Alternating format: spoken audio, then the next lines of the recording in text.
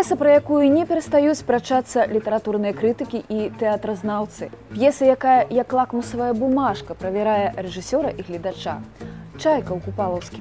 У трэці раз нацыянальны акадэмічны тэатр імя Янкі Купал звяртаецца да чэхаўскай чайкі. Для рэжысёра Мікалая Пенігіна гэты зварот этапны. Дагэтуль прызнаны беларускі пастаноўшчык ніколі не ставіў Чэхава. Я толькі аднойчы Чэхава рабіў чайку майстар-клас у Францыі у меня з французскімі акторам быў. Я ўвогуле чэхам не ставіўся ў жыцці. Я думаю, прыйшоў час.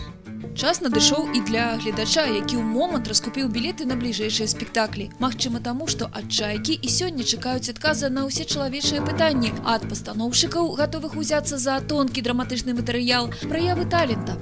Думаю, што у нас па-першае размеркаванне цудоўнае. У нас на трупу гэта цудоўна паклалася п'еса это першае па-другое ну, это класічны твор сер'ёзны ён не павязаны ні да палітычных ні да сацыяльных ніякіх праблем это просто па людзі просто па людзі а людзі не мяняюцца На галоўнай драматычнай сцэне краіны твор Антона Паўлавіча Чэхава гучыць на беларускай мове. Мастацкі пераклад зрабіла маладая таленавітая літаратарка Марына Казлоўская. Асуджанае жаданне кахаць. Вось што вывеў на сцэну драматург. А як быць з такім персанажам рэжысёру?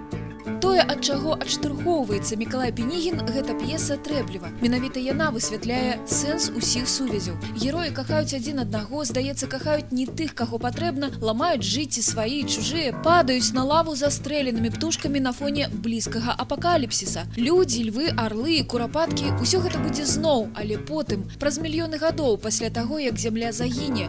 Добры пісьменнік это чалавек, які назірае таленавіта. Шэхаў вельмі уважліва і сур'ёзна назіраў за людзьмі. Ён ввогуле назіраў з людзьмі так трошкі сверху. І п'еса яго і все его п'есы чэхаўскія это камедыі. І чайка таксама камедыя. Вось натармуецца это калі мы здолеем гэта сыграць, это будзе правильно. Камеды, так, чалавечыя камеды. Музыку да спектакля напісаў кампазітар Андрей Зубрыч. Дэкарацыі касцюмы падрыхтаваў знакаміты літоўскі мастак Марыус Яцоўскі. Касцюмы толькі асобнымі рысамі прыгадваюць канец 19 стагоддзя, а па дарозе да сучаснасці чапляюць і сарэбраны век. У дэкарацыях увогуле няма прывязкі да месца і дзеяння. Хіба толькі рэквізіт дапамагае акцёрам максімальна праявіць сябе.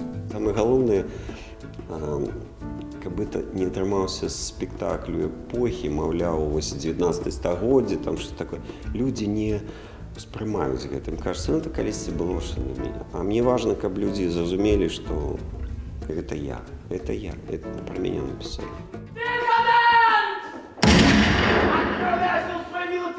Ты играть, а у тебя ставят никчемных пьесах!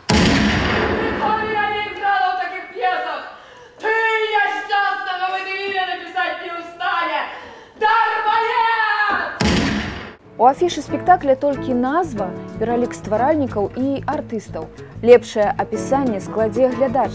Глядач, якому не трэба тлумачыць, навошта ісці глядзець чайку.